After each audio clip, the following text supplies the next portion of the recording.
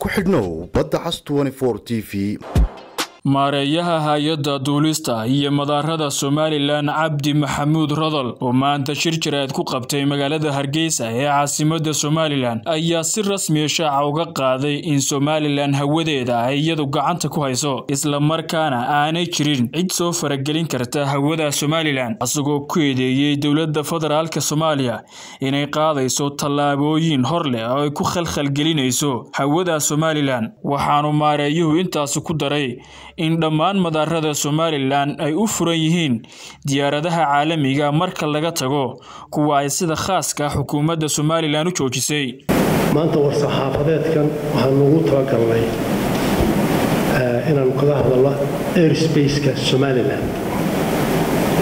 waxaan maanta halkan anoo maareeyey guude hay'adda duulimaadka iyo madaarada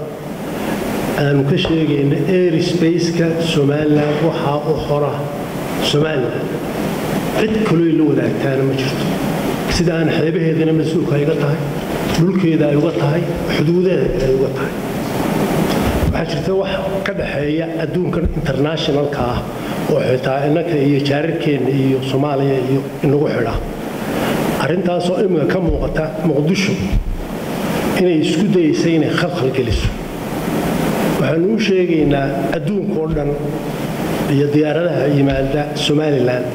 inay somalilan ka mas'uul tahay oy keligeed iska leedahay. Ayada nabadgelyadeeda ka mas'uula inay ogolaato somalilan diyaaradda degaysaana hadduuna maareeyo ogolaan ma soo degayso. Hawada anna kuma doonaya inaanu xidhno haddaa idhahda hawada somalilan maanta inay adi soo imanin oo nootaanka gelin keligayaa iskale waxaanu u sheegaynaa adduun weynaha iyo dadkao dhan inaynu jaarnimada waanu ilaalinaynaa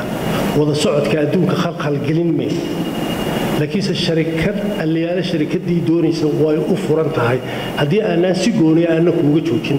oo waxaa jirta qaar aanu sii daynay oo cudurkan dee iminka ee imika aanu ka baqanayn waddanka kaasna mar hore aanu sii dayn.